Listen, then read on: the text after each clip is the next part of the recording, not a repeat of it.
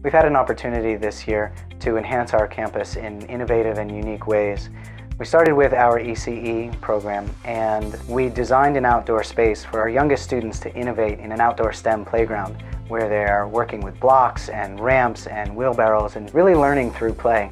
In addition, we capitalized on the opportunity to remodel a classroom into a science lab for our lower school students, complete with microscopes and hands-on learning activities and a whole wall dedicated to learning while being on their feet.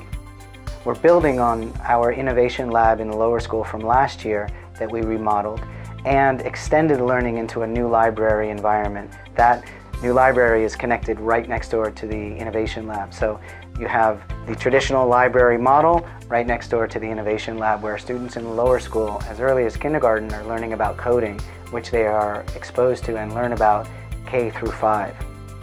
We also were incredibly blessed to remodel our media center into a multimedia maker lab where students are learning about 3D design and 3D printing, intermingling from fashion to electronics to learning how to solder and really putting things together. In addition, in our high school, our engineering classes are working in a brand new makerspace as well, right next to the middle school design makerspace. So our students are engaging in 3D printing, electronics, coding, using Arduinos, and utilizing our full wall green screen so that they can do video production that go along with their engineering projects. It's our team of educators from the lower school into the high school that really make these spaces come alive.